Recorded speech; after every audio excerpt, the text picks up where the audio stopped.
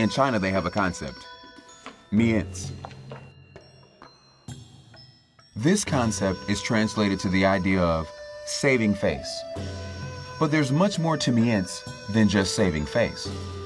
It also means reputation, prestige, social standing, and honor. Within many cultural smart cards is a section on cultural do's and don'ts. Do's and don'ts tell you what you need to know in order to communicate honor, reputation, and prestige. 这个是面子，面子， All the do's and don'ts can be boiled down to one word respect. Culture matters.